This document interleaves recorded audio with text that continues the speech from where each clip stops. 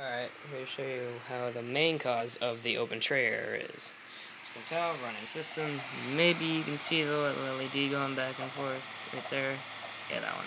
It's your laser. Alright, right now Final Fantasy's in and it's on the screen. Obviously. So that's boring. I'm gonna turn off the system.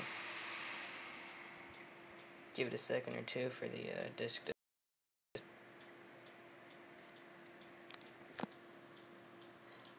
friction. Alright, and then you pop this off. All that is is the retainer from the top half of the CD drives is taken out. Alright, disk is fine. Nothing happened to the disk. Same disk. Just gonna, fuck it, I'll keep it an image. What you do to induce an open tray error is this. Alright, now you see how I slid it about an inch and a half. Now, you can tell that eye is only half lined up with the edge of that Xbox disc. You can barely see the corner. Now, it might catch it, it might not. That's the open tray error. When it doesn't catch it, says you nothing. Oh, I need to find that. Yeah, that. Whew. Okay. We're gonna, we're gonna shut off and try that again.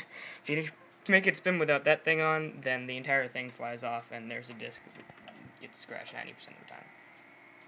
Okay, as you can tell, it's like, what the fuck? There's no disc here, bro.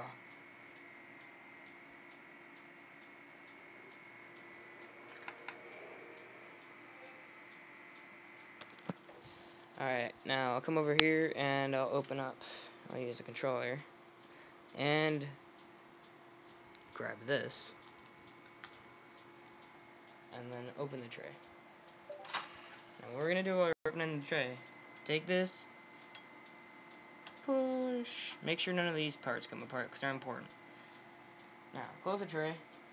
As soon as it gets back, you have to put this disc back on. Cent straight and centered. Now, let's see if you can see the laser. Here it is. Alright, now the laser is actually tracking through the disc, jumping from bit to bit. And you have video game. Congratulations at the goddamn open open tray or message, whatever. Now, there's two other errors that are um, known slash not known. Um, one from my experience, because I messed up uh, while I was trying to fix an error.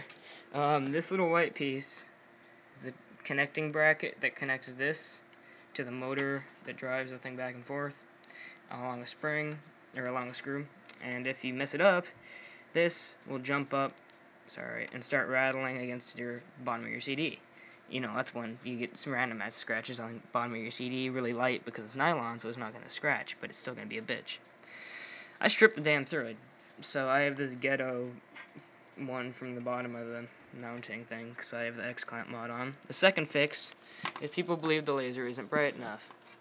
I don't know. I guess it varies on a case-to-case basis. One of these is laser adjustment. I believe it's this one. And I don't know which direction. Um, there's two or three other videos if you look up open tray fix that'll tell you that.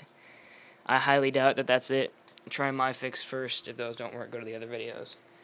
And uh, yeah, happy keeping your Xbox fucking working.